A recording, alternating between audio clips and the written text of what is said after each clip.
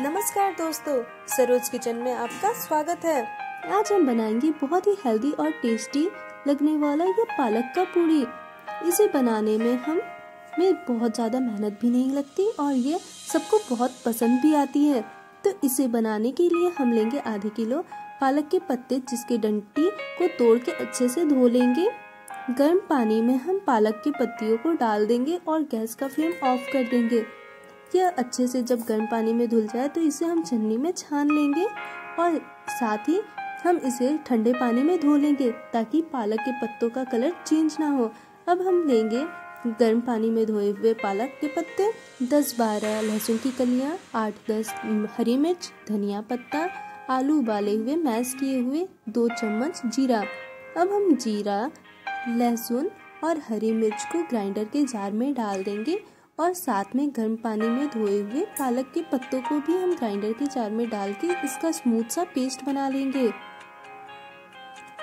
आटा गूंथने के लिए हम लेंगे आधा किलो आटा मैश किए हुए आलू, मंगरेल, अजवाइन, धनिया पत्ते कटे हुए रिफाइंड ऑयल नमक स्वाद अनुसार, और साथ में पालक की पेस्ट अब हम आटे में मैश किए हुए आलू डाल लेंगे, धनिया पत्ता डालेंगे मंगरेल डालेंगे और अजवाइन को हम हाथों में लेके दोनों हाथों की मदद से इसे अच्छे से मसल लेंगे ताकि आटे में इसकी खुशबू अच्छे से आए। अब हम नमक स्वाद अनुसार डाल लेंगे। मैंने यहाँ डेढ़ चम्मच लगभग डाला है और साथ में तीन या चार चम्मच रिफाइंड तेल डाल लें और अब पालक का पेस्ट पर डाल लें। अब आटे को हम अच्छे से मिला लेंगे। अगर पानी की ज़रूरत पड़ेगी तो हम धीरे धीरे थोड़ा थोड़ा पानी डालेंगे। यहाँ पालक के पेस्ट को डालने के बाद मुझे लगभग दो चम्मच पानी लगे होंगे। अब आटा हमारा गुदकर तैयार है। अब हम इसे रेस्ट के लिए 10 मिनट छोड़ देंगे।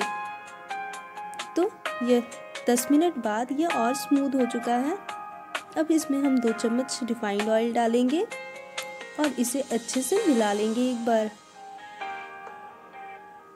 ये जब अच्छे से मिल जाए तो हम इसकी छोटी छोटी पूड़ियों के साइज़ की लोइयाँ काटेंगे और पत्थन की मदद से इसे हम अच्छे से बेल लेंगे।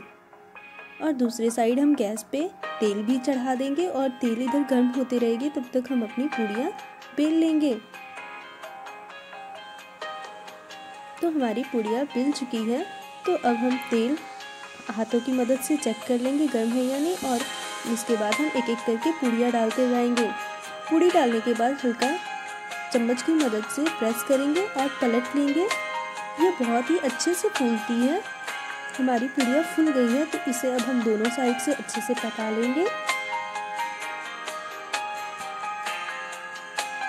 तेल बहुत ज़्यादा गर्म नहीं होना चाहिए, वरना पूड़ियाँ जल जाएगी और फूलेगी भी नहीं।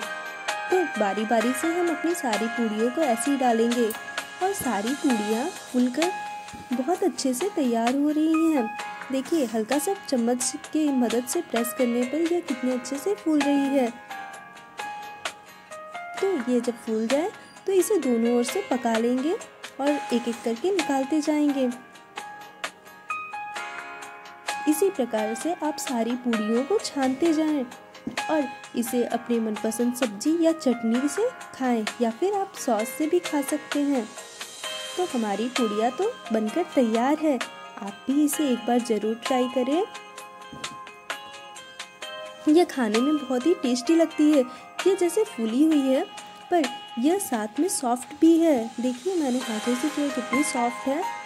और इसे तोड़ कर भी दिखाती हूँ ये बहुत ही सॉफ्ट सॉफ्ट बनी हुई है। तो आप भी इसे ट्राई करें और हमारे चैनल को लाइक सब्सक्राइब और शेयर करना ना भूलें। Thank you